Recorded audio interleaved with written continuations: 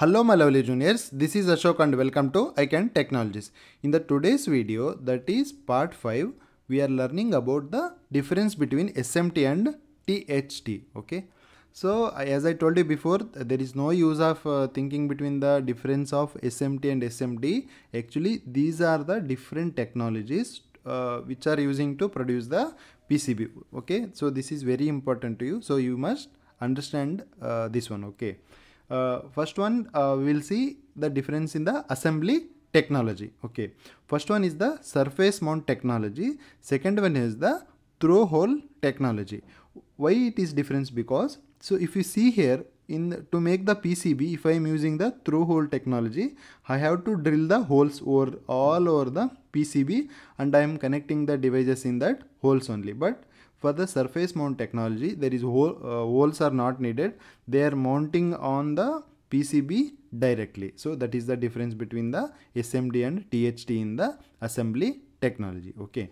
Second one components used. So these are all the components used in the SMT technology. Uh, in the THT so we can use all these components okay? You can uh, read out on your own. So in the during uh, during exams times i will explain what is mean by each and everything okay? Third one is the area. So for smt small area is needed because uh, there is no no holes needed manually uh, you cannot solder.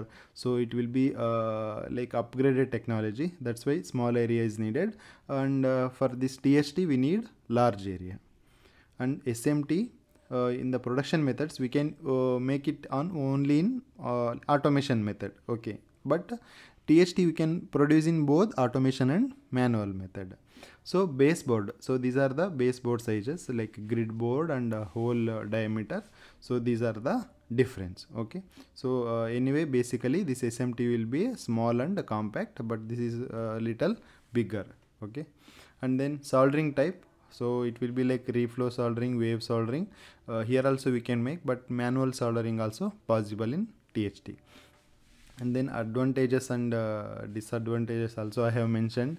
Uh, read it uh, carefully uh, whenever you have time. So you should learn on your own this thing. So during the exams times i will explain this very neatly. Okay and then uh, this one also you should learn on your own. So you should make some task always okay? In the part 6 that is we are learning about automation process involved in the smd of a uh, pcb industry okay? We'll meet again in the next video. So till then see you. Bye bye